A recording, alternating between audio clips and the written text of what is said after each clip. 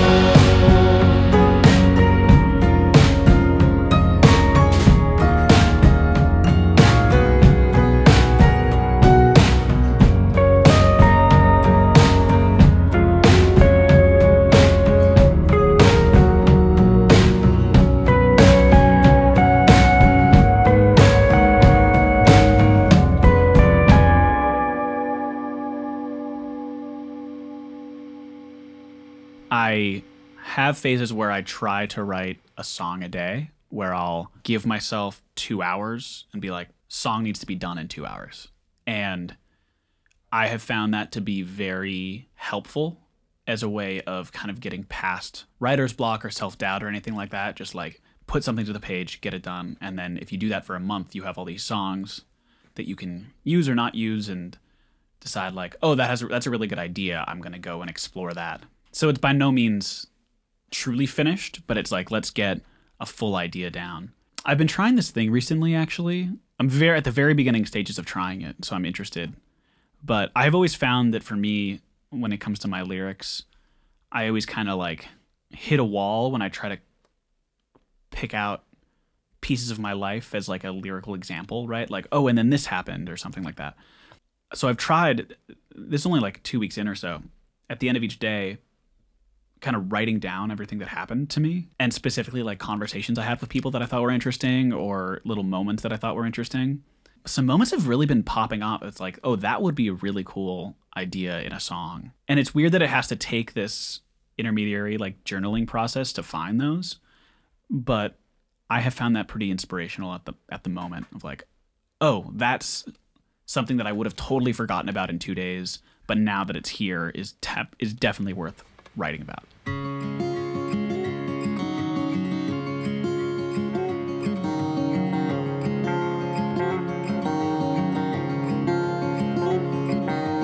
M train to Central Ave. A face in tears, my first night out. She ran upstairs to smoke, sat on a ledge, and watch the sunrise off the rooftops of Bushwick. To my tin cup at a paved down park, begging her for scraps as they ride. I'll fake it till I'm someone you want. I'll fake it till you stop saying you were never in love. Guess I'll pack my bag, my only one, the one with holes and headphones falling out the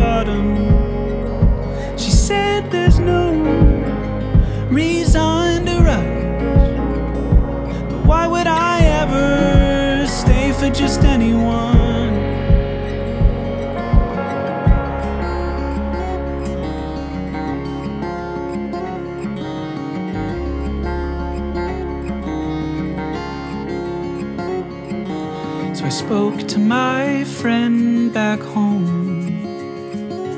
Twenty drinks she wore like an award. Said I always put myself in front of everyone else. May cut me down to the goddamn bone. When I lie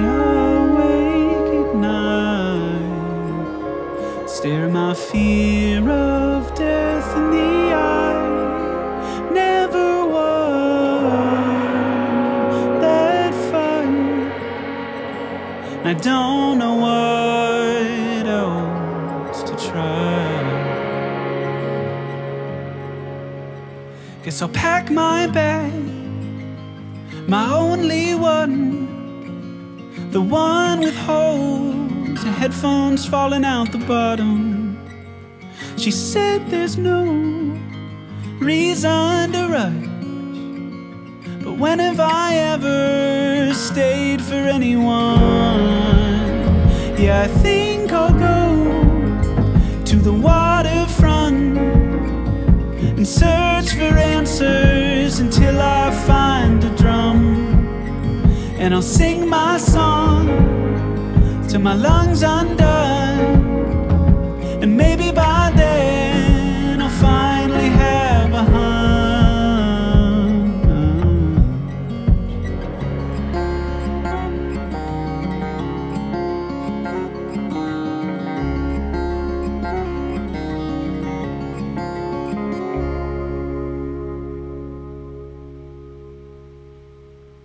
I don't know if this is how other people dress.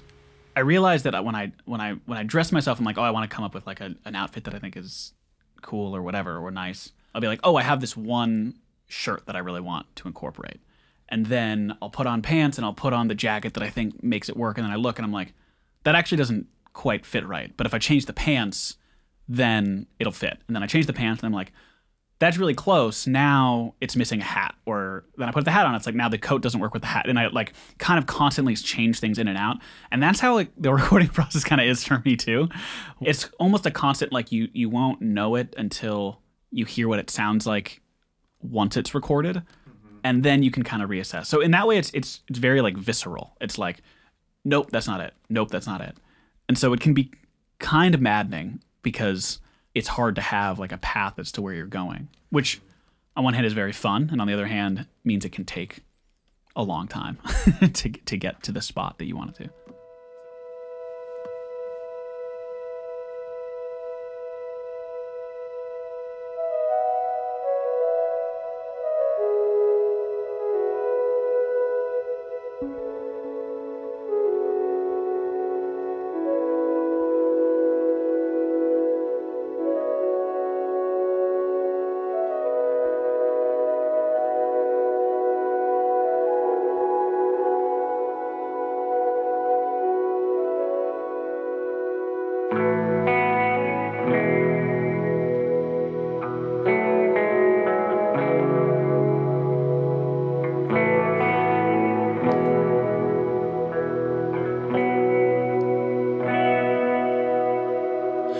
So many words at home at the bar. Park at my apartment tonight. All of these frames, I swear that they're haunted. I wanted